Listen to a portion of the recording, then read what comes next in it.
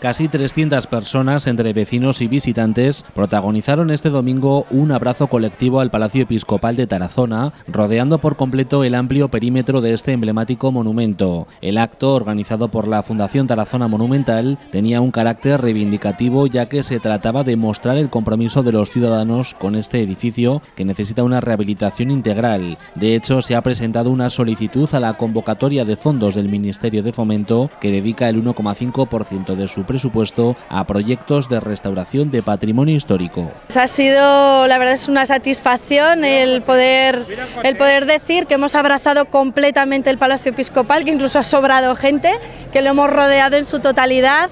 La gente es súper contenta, ilusionada, eh, pues ha sido un acto súper bonito en el que todo el mundo se felicitaban y, y, bueno, pues ha sido todo un logro, la verdad, poder abrazar el edificio y poder demostrar que aproximadamente 300 personas que estábamos aquí, pues queremos ver el edificio restaurado, queremos verlo en condiciones y, y bueno, pues que nos preocupamos por nuestro patrimonio y por nuestra ciudad. La verdad, una satisfacción tremenda, ha superado todas nuestras expectativas. Además, gente de todas las edades, ¿no? De todas las edades, niños en carrito, eh, adolescentes, eh, gente muy mayor, eh, pues la verdad es que es una gran satisfacción porque hemos visto implicación de todos los sectores de la, de la población y, y, bueno, pues como digo, ha superado todas nuestras expectativas.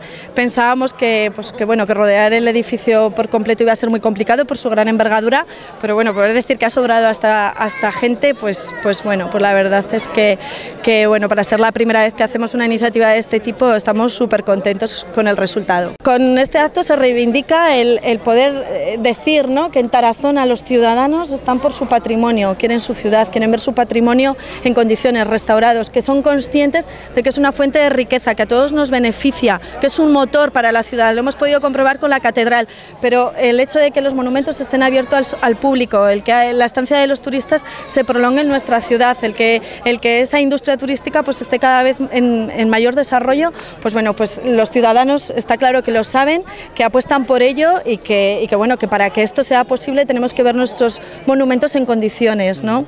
Y bueno, pues la verdad es que este acto, como decimos, reivindicativo y, de concienciación social, pues bueno, pues, pues se ha cumplido con, con, muchísimo éxito y esperamos pues repetirlo pronto y poder dar buenas noticias pronto respecto a la restauración del monumento. Varios alumnos del IES Tubalcaín participaron activamente en esta jornada, en la que aprovecharon para vender artículos hechos a mano con los que recaudar fondos para su próximo viaje de estudios a un país con mucho patrimonio. Pues somos estudiantes de cuarto de la ESO que estamos ayudando a Tarazona Monumental para el Día del Patrimonio haciendo llaveros y pulseras para vender y así ganar dinero para el viaje de estudios. Hechos a manos por vosotros, ¿no? Sí.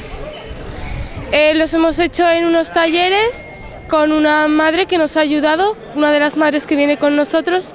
Vamos a Italia, que es un sitio con mucho patrimonio, y así logramos sacar dinero. La celebración del Día del Patrimonio incluyó actividades durante todo el fin de semana, como una conferencia, visita por el casco histórico y al exconvento de San Joaquín, un concierto de órgano y canto gregoriano en la iglesia de la Merced o juegos para los más pequeños que también se acercaron al patrimonio de Tarazona.